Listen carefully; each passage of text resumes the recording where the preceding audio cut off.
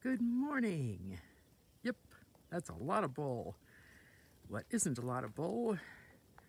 I come in this morning to do my morning and I see them again. Well, I don't see them, I see evidence. Nobody ever, ever, ever warns you about the invisible kittens out here in the wilderness. Little buggers were here. There's my toilet paper all over the ground. Supposed to be up on the roll. Much more useful that way and clean. But no, the kittens have been here again. You know how I know they're invisible? You don't see them.